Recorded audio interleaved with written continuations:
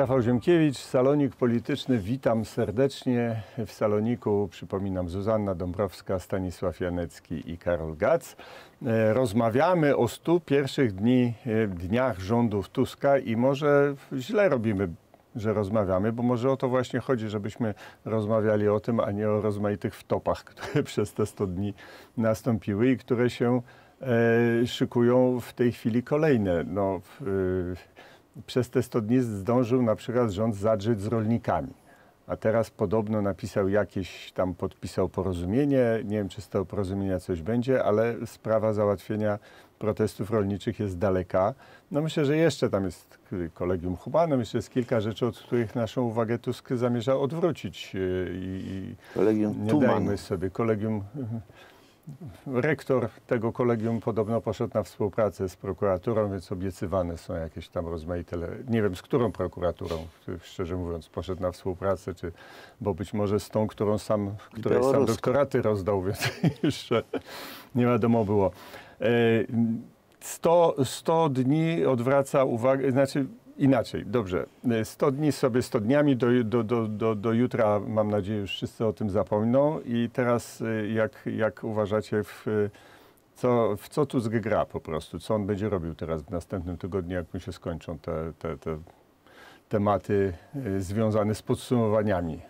No, będzie opowiadał, że ciężką pracę wykonuje. Nie, to Na oczywiście rzecz ministrowie Polski. będą chodzili i Nie, opowiadali, zaczną że... się chwalić pieniędzmi, które już miały być, tymi brukselskimi Mhm. czy tam unijnymi, które już miały. Ile cudów za to i zaczną o tych cudach opowiadać, no bo nie może być wyłącznie negatywna narracja. Oni już zaczynają o tych y, cudach opowiadać, tylko no, są takie zgrzyty, takie sprytne zagranie Prawa i Sprawiedliwości i Konfederacji czyli przedstawienie własnych projektów z y, kwoty wolnej od podatku 60 tysięcy. I ten sztandarowy pomysł y, y, Koalicji Obywatelskiej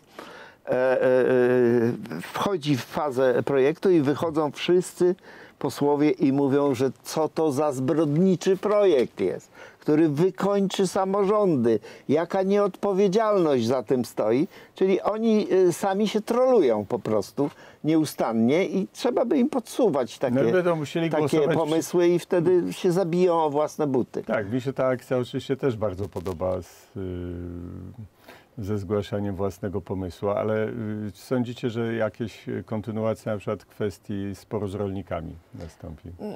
Myślę, że jeszcze do wyborów parlamentarnych, do, wy, do wyborów do Europarlamentu e, będzie ten temat tak przedstawiany, że rząd robi wszystko, co może, no a kiedy te wybory już się odbędą, no to i też rolnicy pójdą w pole, więc też w pewien naturalny sposób ten protest y, się rozejdzie, rozpłynie, no to pewnie Donald Tusk i tak będzie robił to, co uważa. Poza tym, co z tego, że w Polsce podpisywane są jakieś porozumienia, które bodajże podpisał jakiś przedstawiciel ministra Kołodziejczaka i tam część rodzi- rolników była oburzona, bo nie uważa, że to są porozumienia, które ich reprezentują, skoro w Unii Europejskiej trwają prace nad przedłużeniem e, znowu tego pozwolenia dla Ukrainy na to, żeby bez ceł tutaj transportować do Unii Europejskiej produkty rolne. I cóż z tego, że Donald Tusk chwali się swoimi koneksjami na arenie międzynarodowej w Brukseli dokładnie, skoro fakty są niestety zupełnie inne i dla polskich rolników są bardzo niekorzystne.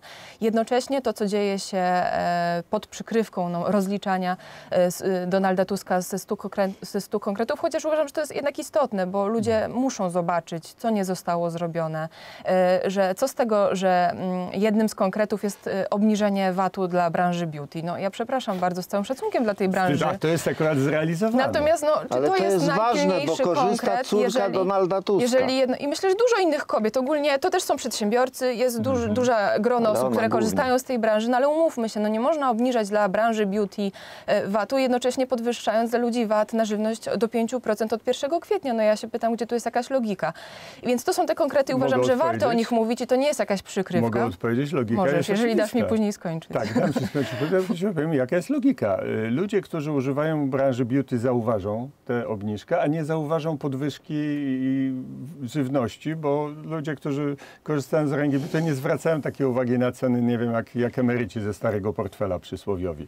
Więc tu chyba chodziło o to, że to jest prezent dla swojego elektoratu, tak jak zapowiedź wypuszczenia 20 tysięcy więźniów e, z więzień na przykład. To jest prezent dla żelaznego elektoratu, tak to rozumiem. I oprócz tych konkretów, o których ja e, powtórzę jeszcze raz, uważam, że warto rozmawiać i warto z tego rząd rozliczać i nie zapominać na 150, 150 dzień o tych 100 konkretów na 100 dni, to jeszcze dzieją się bardzo niepokojące rzeczy w prokuraturze. Już wspominaliśmy e, i o prokuraturze krajowej nieraz mówiliśmy, ale dzieją się jeszcze inne rzeczy, o których opinia publiczna nie za, nie za wiele mówi, czyli chodzi o wywalanie prokuratorów, e, którzy walczą na przykład z mafiami VAT-owskimi. O tym nie za wiele się mówi, a i niestety takich ludzi Adam Bodnar się pozbywa z wymiaru sprawiedliwości. Pytanie, dla kogo to jest prezent? No także dla żelaznego elektoratu? Nie wiem, no tak, No, w takie, pytanie tylko zadaję. Na pewno, biorąc pod uwagę, kto zyskiwał na rządach PO, Może, PSL.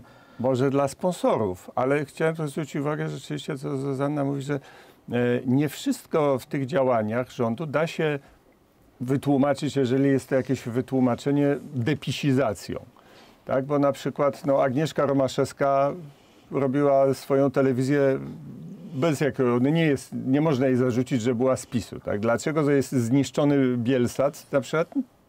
Nie rozumiem tego. No tak akurat samo jeżeli jak nie chodzi o Bielsat, to były takie różne doniesienia, że to jest jakaś rozgrywka amerykańsko-ukraińska, międzynarodowa, więc no być może akurat To to, nie takie- jest y, największa wina Donalda Tuska. No, z drugiej ale usunięcie prokuratora na przykład, który się latami zajmował przestępczością I zorganizowaną. posadził wielu przestępców, Posadził którzy wielu przekręcili przestęp- I wiele najlepiej się na tym zna. I naprawdę robił to długo, długo zanim PiS doszedł do władzy. PiS go po prostu na miejscu zostawił, bo się sprawdzał. I nagle ten człowiek musi odejść no, właśnie dlatego, że pan Bodnar stwierdza, że, że, że tak po prostu. To rzeczywiście trudno to tłumaczyć inaczej niż jako pewien gest życzliwości wobec tych ludzi, To ja powiem jeszcze jedno zdanie, już kończę, że y, z tej naszej rozmowy teraz jeszcze bardziej do mnie dociera, że to, czego brakuje mi najbardziej, to jest jakaś wizja. Ja wiem, że słowo wizja jest no, tutaj e, różne ma konotacje, natomiast brak programu dla Polski, po prostu takiego programu, z którym można się zgodzić lub też nie, ale tego programu po prostu nie ma. Nie wiemy, co Donald Tusk chce robić. Ja nie mam pojęcia, Znaczy, jaki ma plan na Bardzo Polskę. dziękuję. Odpowiedziałeś na pytanie, które nieudolnie próbowałem zadać. Jedno zdanie, zanim chodzi? Karol y, powie. Y, wypływało z Polski ponad 200 y, miliardów złotych. To są konkretne grupy interesów, które na tym zyskiwały. One stanowiły zaplecze lobbying dla Donalda Tuska, także na forum europejskim. Jestem absolutnie przekonany, że ci ludzie się zgłosili po y, premię za to, co wcześniej zrobili, żeby odzyskać te pieniądze w różnej formie i oni je będą odzyskiwać. Przykład, który Nie ma podaję, sposobu. Przykład, który podaję do znudzenia, bo to jest sprawdzalne. W roku 2016 po objęciu władzy przez PiS skokowo sprzedaż, sprzedaż paliw w Polsce wzrosła o 1 trzecią. Co jest oczywiście absolutnie niemożliwe, bo każdy specjalista powie, że 1-2% to jest najwyższe, największe ruchy na rynku paliw. Po prostu to znaczy, że do 2015 roku jedna trzecia paliw w Polsce była lana poza VAT-em i poza akcyzą. Jakie to są pieniądze w zeszłorocznym budżecie? To Problem- VAT i akcyza z paliw to jest 20 Ja miliardów. się w tym no. oczywiście z pełni Więc- zgadzam, bo, bo rzeczywiście szacowano tą lukę VAT-owską na około 200-250 miliardów złotych, tylko możemy też rzucić kamyczek, żeby nie było tak miło dla Prawa i Sprawiedliwości. Osiem lat minęło, komisja śledcza była, no i co w takim razie z wnioskami? Co z tymi, którzy do tego dopuścili, skoro było czarno na białym pisane czy mówione, celnicy na przykład alarmowali, że im nie wolno było ruszać paliw. I takich przykładów jest wiele, ale wracając do twojego pierwotnego pytania, czego się spodziewać, czy czego ja się spodziewam przynajmniej teraz? Spodziewam się dwóch kwestii. Po pierwsze, w dalszym ciągu igrzysk, igrzysk politycznych, to co obserwowaliśmy, chociażby właśnie próby do, do, dopadnięcia Jarosława Kaczyńskiego, tych wszystkich komisji śledczych czy pseudokomisji śledczych. E, Teraz przecież nie bez powodu, o czym pewnie powiemy jeszcze chwilę, no składa się ten wniosek o postawienie Adama Glepińskiego przed Trybunał Stanu. To potrwa, bo ta procedura potrwa, potrwa miesiące. E, Do tego już jest zapowiedź gdzieś tam Trybunału Konstytucyjnego, więc z jednej strony igrzyska, igrzyska pod hasłem rozliczenia, pod hasłem takim czy innym, e, pretekst się oczywiście zawsze znajdzie, no tylko te igrzysk nie można robić w nieskończoność. Igrzyska można robić do czasu, gdy e, jest chleb. Wiemy doskonale, o czym tu też już to zostało powiedziane i to padło, no, że rządy Platformy, mówiąc delikatnie, charakteryzowały się marnotrawieniem środków publicznych i teraz też się tym będą charakteryzowały. Jeżeli zobaczymy te zmiany, o których chociażby wspomniała Zuzanna, one są bardzo charakterystyczne właśnie jeśli chodzi o prokuraturę krajową, bo tam są zmiany dokonywane punktowo. Tak się dziwnie na przykład składa, że prokuratorzy, którzy właśnie prowadzili i rozbijali mafie VAT-owskie są odsuwani, albo którzy są, się zajmują sprawami politycznymi, e, tak samo próby przejęcia tych sądów i tak dalej, i tak dalej. No tu oczywiście absolutnie nie ma przypadku. No i z drugiej strony spodziewam się jednak jakiegoś dokręcenia śruby pod, e, wpływ, pod, e, pod z jednej strony płaszczykiem tych igrzysk, z drugiej strony takimi czy innymi rozliczeniami, a Donald Tusk, jak to on będzie opowiadał bajki, będzie wrzucał różne tematy zastępcze, tak jak wrzucono temat aborcji. No przecież to, co zrobiono tydzień, dwa tygodnie temu, to jest klasyczny temat zastępczy. No, nagle się okazało, że temat, że, że wybory samorządowe są aborcje, Donald Tusk stał sobie z boku, patrzył, jak się lewica z trzecią drogą zagryzają i tym się charakteryzuje Donald Tusk, tak żeby sprawy nie były załatwione, były w takim zawieszeniu, bo puentując też tę wypowiedź i całą trochę po części naszą dyskusję, wszyscy wiemy i wszyscy wiedzą, że ostatnie zdanie należy do Donalda Tuska. O tym wie też na przykład Gazeta Wyborcza, która też teraz w miniony weekend, y, czy bodajże w, y, kilka dni temu napisała taki długi tekst, bodajże piórem Dominiki Wielowiejskiej, gdzie tam generalnie było o sporach w koalicji rządzącej, no ale puenta była taka. Wszyscy patrzą, co powie kierownik. Wszyscy patrzą, czy kierownik da zielone światło, bo wszyscy wiedzą, że kierownik ma ostatnie zdanie i wszystkim to przynajmniej jest- na razie pasuje. I to jest właśnie zaskakujące, że y, koalicjanci właściwie już nie istnieją y, w sensie podmiotowości, a być może po tych podwójnych wyborach, które się przypomnę, no samorządowe, to są właściwie zaraz, za, za tydzień po świętach, e, po tych podwójnych wyborach może się okazać, że nie istnieją To jeszcze, również to jeszcze o fizycznie. tym słowo. bo No pytanie, czy to nas zaskakuje, bo przed wyborami wszyscy się spodziewali, przynajmniej po tej prawej stronie, trochę, że, trochę mnie zaskakuje. że, że te partie będą no. w jakimś stopniu 14 przystawkami i to trochę też się wiąże z tym, co mówiła Zuzanna o, a propos braku wizji. No ile my mieliśmy dyskusji podczas kampanii wyborczej o tym, że za Donaldem Tuskiem nie idzie żadna wizja. Można się było zgadzać bądź nie z tym, co robi P- Prawo i Sprawiedliwość. Mieliśmy CPK, przekop Mierzei Wiślanej, ileś różnych inwestycji infrastrukturalnych, konia z rzędem temu, kto wymieni, co chciał zrobić Donald Tusk albo co zrobił. No to, to, to że nic nie zrobił, to wiemy, gdy Ale ciągle coś robi. No ciągle coś robi, ale tak w tej chyba w tej wersji jest- PR-owej. przepraszam, Przepraszam, tak. teraz jest jeden konkret ostatni już. Chwalił się Donald Tusk nagraniem, jak dostał bodajże 100 tysięcy subskrybentów na YouTubie i chwalił się takim A, przyciskiem. tak. To gratuluję. Jak się będzie dalej starał, to może i mnie dorównać, bo ja już y, te 100 tysięcy. Jest taki srebrny przycisk, Srebrny. można dostać. Tak. No, no, gratuluję. Ale czego najbardziej gratuluję Tuskowi, to muszę powiedzieć, że y, rzeczywiście człowiek patrzy na, jak na jakiego cyrkowca na niego, który żongluje, żongluje różnymi rzeczami i wydaje się, że w końcu coś mu musi wypaść, albo go wręcz na głowę mu upaść, a, a, a nie widać końca tej żonglerki. To jest ciągłe przykrywanie jednych tematów drugimi. Tutaj coś rzuca Tusk, wszyscy za tym biegną w tym czasie, że aborcja, w tym czasie y, Trybunał dla ym, Trybunał Stanu to niby jakaś uchwała y, dla Glapińskiego, niby jakaś uchwała, że Trybunał Konstytucyjny będą To rozwiązywać co będzie za 3 lata? Dopiero 100 dni. nie wiem, bo jeszcze do tego zobaczcie, że metoda jest taka i to jest niesamowite dla mnie, w jakich czasach jakiegoś zidiocenia podobnego do PRL-u żyjemy, tylko w PRL-u to było wymuszone, a tutaj jest tak, że mówi na przykład Tusk, zrobię marsz, będzie milion ludzi. No przychodzi 150 tysięcy ludzi, to jest dużo, to jest taki marsz. No i co, nie było miliona? Był milion.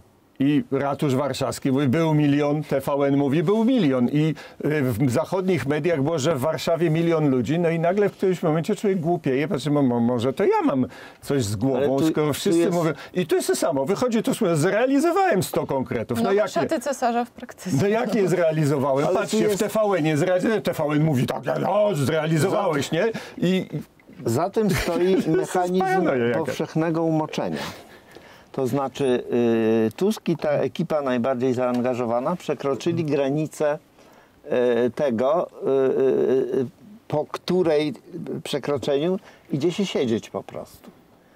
I, od tego zacząłem. Zresztą to sam Tusk mówił, przecież cytowaliśmy, O- oczywiście. Onet cytował, nawet Onet Tuskowy cytował. wciągnie że- się jak najwięcej ludzi do tego mechanizmu, czyli ich się umoczy, to wszyscy będą działać do tego, żeby nie było demokratycznej możliwości oddania władzy. Nie, to znaczy Takie słusznie Zuzanna mafijne. mówi mechanizm y, nagiego króla, tak? No tak, ale to, to się wiąże z tym, że te wszystkie strachy, jak oni opowiadali przed wyborami 15 października, że y, nie, nie, nie, najpierw, że nie będzie wyborów, nikt nie potem, że nie będą tego. uczciwe, że, nie- że nie zaakceptujemy wyników, się że- nie- nie odejdzie, że wyprowadzi wojsko komisje, że stan tak. wojenny czy tam wyjątkowy wprowadzą i tak dalej, to po tym, co oni zrobili w ciągu 100 dni, to właściwie nie ma wyjścia, żeby oni byli w stanie y, nie narażając się na pójście do więzienia i na procesy, oddać władzę.